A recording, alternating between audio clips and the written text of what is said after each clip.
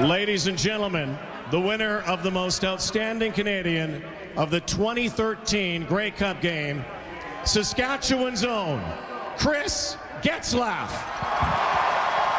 Le gagnant du titre de joueur canadien par excellence de la Coupe Grey 2013 de la Saskatchewan, Chris Getzlaf.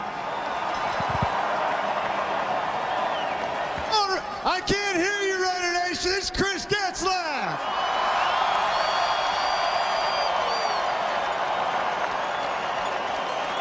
Chris, two weeks ago, you could barely walk.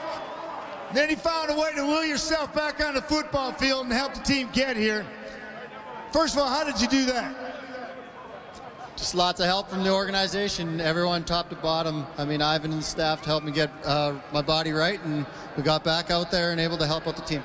Absolutely. And then tonight, big, big, big game. Three for 89.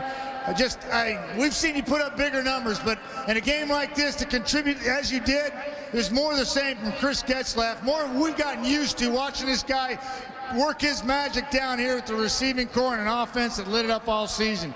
Congratulations to you. Tell everybody, these are your these are your people. You're from here. Tell everybody how you're feeling right now. Come feel better. Knew we were going to bring it home in front of Rider Nation. Yeah. Congratulations, Chris Getzlaf, everybody.